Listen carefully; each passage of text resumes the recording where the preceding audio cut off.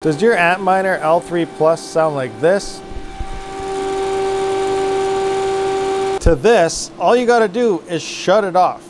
It is that easy. I'm just kidding guys, but for real though, do you want it to go from this to this? Rabid's got you covered.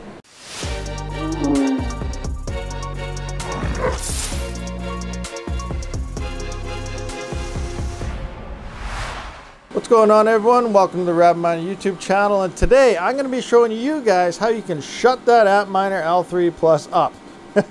so I did previously drop the video on uh, the Antminer L3 Plus versus the Mini Doge Miner and the majority of the comments said the big plus of the Mini Doge is because it's so quiet. You live in an apartment or you know some place where noise could be an issue so I ordered up some fans. I'm going to do a fan replacement. All the links will be in the description. But I'm going to throw them on here and see how quiet we could actually get this Antminer to be. I'd like to thank today's sponsor, Crypto.com. Crypto.com is my go-to for actually using my crypto for real-life purchases. With the Crypto.com Visa debit card, it makes it easy to use my mined assets to pay for my power, purchase new GPUs, CPUs, motherboards, hard drives, as well as collect 8% cash back wherever Visa is accepted. If you would like to sell straight to your standard bank account, you can easily request an e-transfer which usually shows up the following day. On top of all that, Crypto.com also offers trading, simplified DeFi, as well as staking to help you increase the revenue on your crypto assets. Join over 10 million plus users buying and selling 250 plus cryptocurrencies at true cost. By using my affiliate link in the description, you will be granted a $25 funding bonus. Or enter code RABID, R A B I D, at the sign up. And remember, crypto has its risks. Just like everything else, do your own research. Now, if you are not sure, all the noise that comes out of this thing, it is in the fans. These are 6,000 RPM fans. So when they ramp up, they get really loud. But we are going to go with some different Noctua fans here. And by putting them on, I am hoping the cooling will still be decent and then it will still maintain the same hash rates and everything, but it'll keep the noise levels on the down low. Seeing as my basement isn't quite big enough to have a bench in the middle of all my mining rigs here, I am gonna have to use this Octominer, so hopefully it works out in our favor. Uh, here are some Noctua NF F12 Industrial PPC 3000 power management fans. So here they are with the open box here and these are really nice looking fans. Look, look at that. These look amazing. Now I did manage getting these from Newegg because Amazon was all sold out. I believe Newegg sold out as well, but there's supposed to be more stock coming in fairly, fairly soon.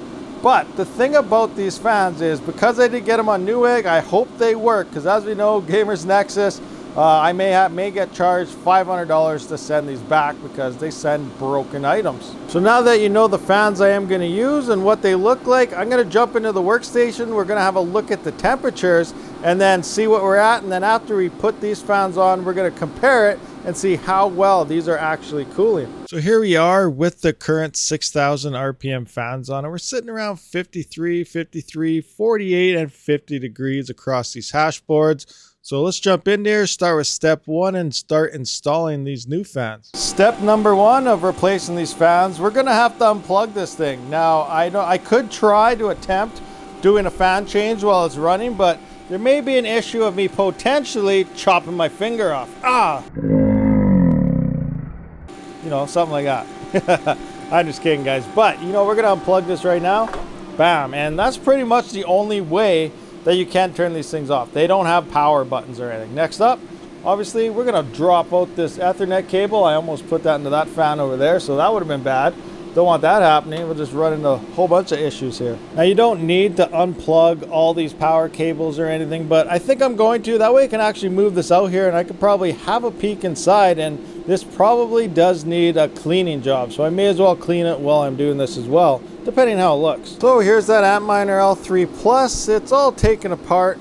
We got a little bit of dust and stuff building up in the front, so I'm gonna clean that out there.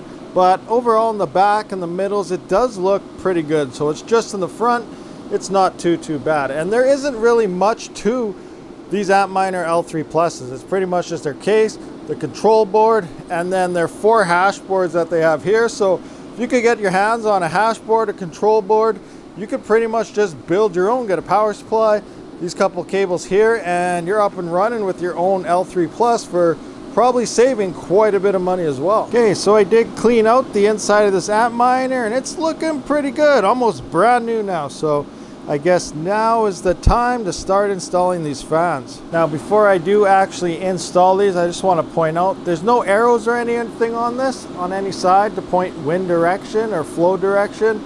You just got to keep in mind fans usually always go towards the back. So this one is going to have to go this way now you have to make sure you reverse it. On the back side, it will have to be like this.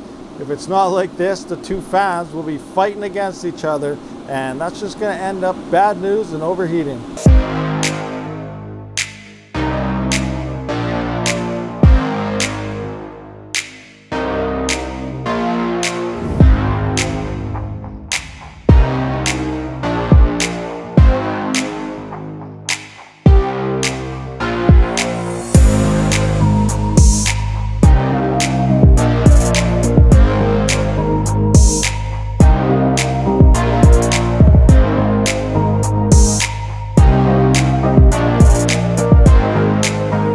The fans are now installed, but there's two issues we may run into. One is already here. Uh, the little tabs here, they are smaller than what's on the big ones, so they don't fit in there, so I may have to cut these tabs off or carve them off or just break those tabs off. Doesn't matter, it won't wreck anything. But, or I can just try to force it on. Number two is because these are only 3,000 RPM fans, we may have issues. I have, might have to go in here and tell it to ignore its fan controls because as you know the other ones are 6,000 RPM and if anything is wrong with even the fans this thing will shut down it needs everything running 100% or it won't work so I may have to tell it to you know bypass the fan speeds that way it doesn't detect anything funny going on because it won't boost to the speed that it wants to go to. Fans are now plugged in. I did break the tabs off the backside just so they would fit so Everything's looking good. I'm gonna plug this in, see how it's working, and see if it even boots up. If it doesn't, I will have to go into the back end through the IP address and let it know to disable its fan controls. So the next step is actually bypassing your fan. So you have to log in through the IP. You can't do this through HiveOS itself. Uh, here you can see I'm in the Hiveon ASIC firmware logging in. The default of all this is always root and root for your username and password if it's the first time you're ever setting this up. Hopefully, if you've already set it up, you have changed your password and everything, as well as your administration username. But you're going to have to go into miner configuration here. And this is where it'll be. But right now you can see it's a bug. You cannot see it. It's not displayed right now. Just simply click miner status and then go back to miner configuration. Now you can see disable fan check immersion cooling only. So you're to turn this on. Mine's already on because I did it, but now it will show up. You engage that, you save and apply reboot your Antminer. So unplug it for like 30 seconds or something, plug it back in, and it should be up and running. Well, here we are, all ramped up, 503.8 mega hash. We're slightly warmer than the 6,000 RPM fans, but that's to expected. We're running a lot slower here, but we are like dead silent. You can't even hear these things anymore. So that's great. Now, if you live in a desert, you might not want to do this, but if you're in an apartment or other some other type of environment, this will work 100% just fine. Okay, guys, there we have it. This Antminer is now, I don't know, very, very silent. It sounds so weird down here.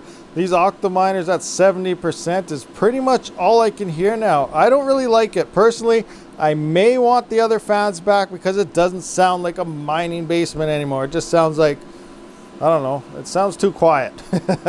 but that's what a lot of you guys wanted, to hush this thing up. So here we are. It's all hushed up, everything's dead silent, and you can run this in an apartment or something else. The temperatures did drop to 58 degrees now, so it does seem like it's varying depending on how it's operating, I guess. I'm gonna let it run for a couple days. We'll see how it goes.